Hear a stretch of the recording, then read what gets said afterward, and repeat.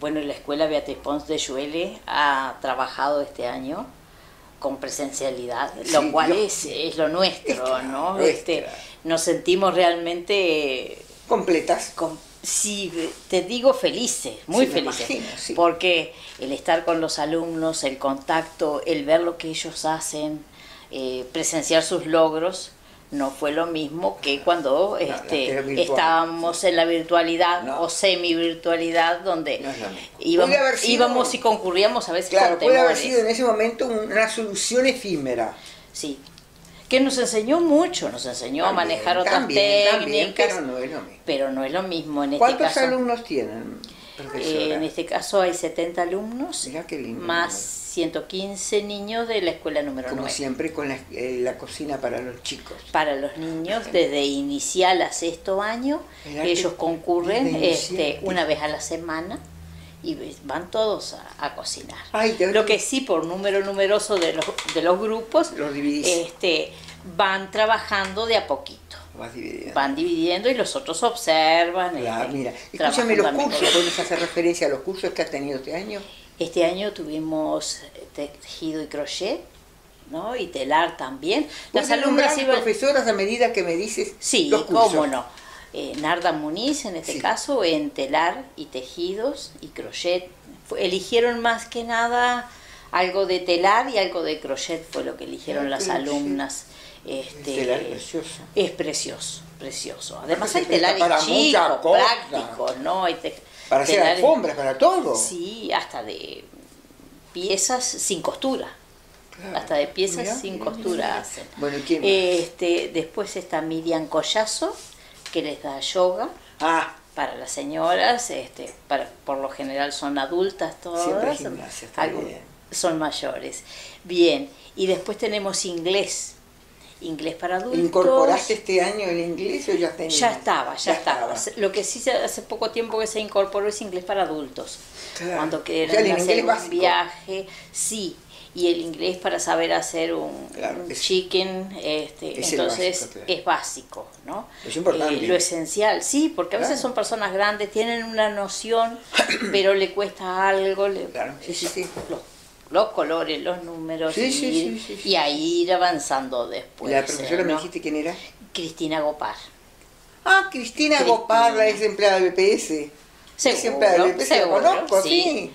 Bueno, y Cecilia Guerra, que tiene inglés para los adolescentes y niños, avalado por Dickens. Ah, Ahí rinden examen, van a rendir examen y es un inglés reglamentado, Sí, claro, ese es un inglés di- diferente. seguro, pero que tiene muy buen número de alumnos. Y Este, siempre el curso, desde luego, de corte y confesión no tiene. ¿no? Sí, bueno, esos son los, los básicos Los de la escuela. Estos son los que incorporaste. O los Son extracurriculares. va. extracurriculares. Y luego tenemos lo que es alimentación y vestimenta, que sí son nuestros cursos. Y ahí hay este, desde ciclo escolar, mm, en forma particular, van los niños de la escuela, los que les interesa después, vuelven a hacer los cursos particulares y hay dos grupos muy lindos. Este, ¿Eso lo das tú? No, lo da Natalia García. Eh, se- tenemos también algunos talleres que se han realizado, que por lo general ahí son señoras mayores. Talleres de. Talleres, eh, hubo un taller de panadería y hay Ah, otro que de es alimentación, requerimientos. ¿Eso qué- es lo que ¿Qué la es? propuesta eh, es a necesidad del alumnado. Entonces, Ah, que piden. Ellas piden, por ejemplo, querían hacer unas clases con tartas y las hicieron, Ajá. o con masas diferentes, o no consumir harinas, preparaciones que no tengan La harinas. gente que tiene, claro, que tiene los celíacos. ¿no? Sí, pero en este caso sabes que no eran para celíacos, ¿Y era para bajar un poco la harina de blanca, la harina de trigo de la dieta. Ahora con integral. Seguro usar más integrales, más semillas, más granos, otras masas diferentes a las cuales podemos atar y elaborar y, y podemos hacer una tarta con, con una masa de boniato o con una masa de otras verduras. mirá, sí, sí, sí. Este, Ya lo en que la-. Sí, y eso estuvo muy, muy Muy bueno. interesante, muy bueno. Es muy rico. Sí, más que nada sano porque no se Claro, va sí. incorporando tanto. Y y eso es lo que piensan después. Hay otras cosas que también nos engordan. engorda todo lo que entra por la boca. pero pero bueno.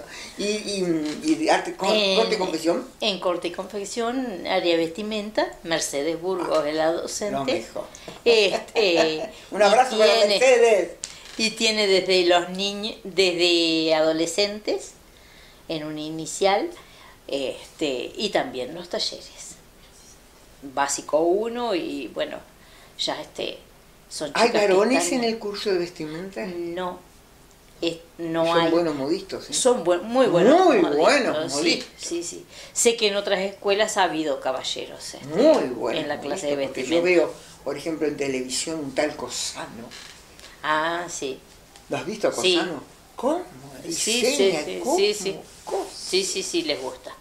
Sé que había un chico que empezó un día en la escuela porque le quería, quería solo saber pegar unos botones. Sí, sí, sí. Bueno, claro, cuando se van a Montevideo no saben a veces pegar el botón de la cama. Seguro o algo, viste, lo Sí, mínimo. sí, sí. Y resulta que después le entró a gustar, viste, Claro. y siguió, Y son buenos ¿viste? diseñadores. Sí. Es como en también. la cocina, ¿verdad? No nos- el hombre cuando cocina, cocina a veces mejor que la mujer.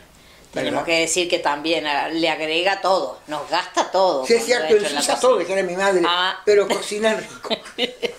Sobre todo los italianos. Pero